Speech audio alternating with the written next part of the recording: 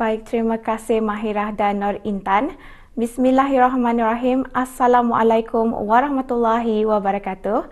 Salam, selamat pagi dan selamat ceria kepada Auda yang sentiasa menonton kami di Rampai Pagi menerusi lintas langsung dari daerah Temburong. Ya Auda, apakah perkabaran Auda pada hari ini? Hari ini hari Isnin 8 Januari 2024 Masihi. Diharapkan Auda sentiasa dalam keadaan sehat walafiat hendaknya. Dan Auda pada hari ini keadaan cuaca di daerah Temburong adalah cerah. Diharapkan agar segala perancangan yang Auda rancangkan pada hari ini berjalan dengan lancar. Dan Auda, oleh itu kita akan menonton bahan visual yang akan disampaikan oleh rakan setugas Siti Ramiza. Jadi, mari kita saksikan bersama.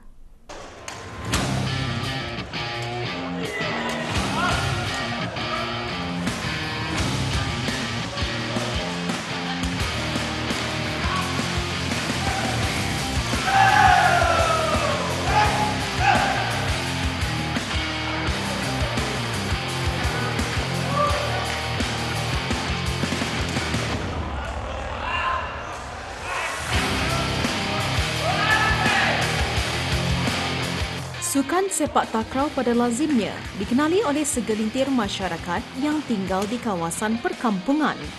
Sepak takraw adalah sukan yang berasal dari Asia Tenggara.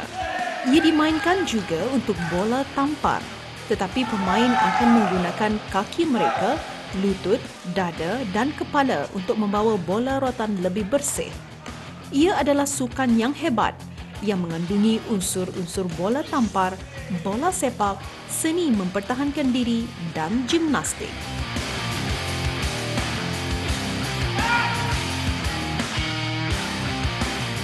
Perlawanan sepak takraw regu untuk meraih kejohanan sepak takraw terbuka daerah Temburong, anjuran daripada Biro Sukan MPK Kampung Sembiling, telah diadakan baru-baru ini di Dewan RPN Kampung Ratai.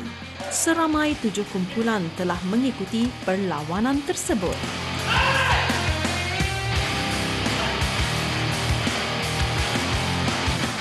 Antara kumpulan yang mengikuti perlawanan tersebut ialah kumpulan Kampung Menengah, kumpulan Sibut dan Sumbiling, kumpulan Kampung Piasau-Piasau, kumpulan Selapun, kumpulan Ratai, kumpulan dari pasukan beruniform bomba cawangan Temburong dan kumpulan dari pasukan ABDB Bangar Kem Temburong.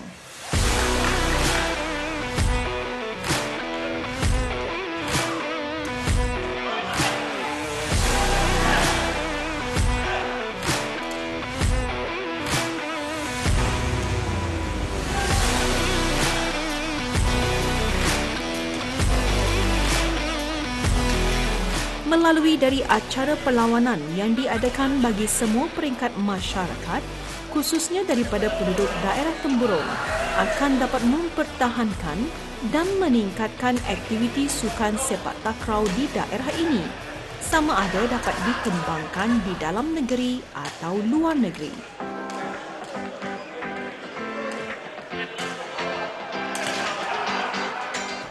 Acara pada pagi ini adalah uh, perlawanan uh, secara terbuka untuk cawangan untuk daerah Temurun sahaja uh, sebagai objektif untuk mencari bakat-bakat pemain-pemain muda uh, yang mungkin akan disalurkan ke mungkin untuk kebangsaan, sukma serta uh, sekolah-sekolah ASEAN serta sekolah-sekolah sukan. Pasukan-pasukan yang menyertai uh, acara sifat takut terbuka daerah Temurun ini seramai 26 pasukan. Uh, setiap satu pasukan memang memerlukan empat pemain. Setakat ini uh, perkembangan uh, sukan sepak takraw ini adalah sangat memberangsangkan dan sentiasa aktif tidak kira di mana di kampungkah, di dewankah ataupun di kawasan-kawasan uh, seperti di Retai, di Selapun, seperti yang kampung-kampung pendalaman ataupun di Semabat. Ah, begitulah sangat memberangsangkan. Sukan sepak takraw ini adalah uh, seperti warisan warisan tani daripada turun temurun memang sukan tradisi sebagai pemain-pemain memang tidak boleh diputus-putuskan uh, untuk generasi-generasi yang akan datang. Harapan saya uh, adalah jangan cepat berputus asa lah. Sentiasa memajukan untuk diri sendiri, terutama sekali kalau di dalam bidang sukan sepak takraw lah.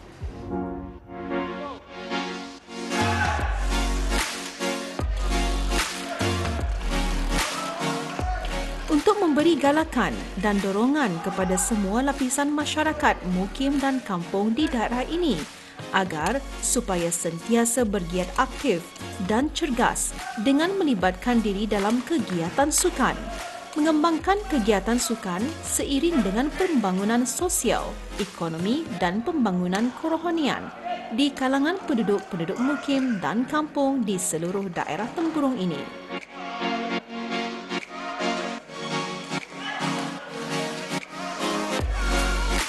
Dengan acara ini juga memupuk semangat perpaduan dan kerjasama di kalangan penduduk-penduduk mukim dan kampung di daerah ini.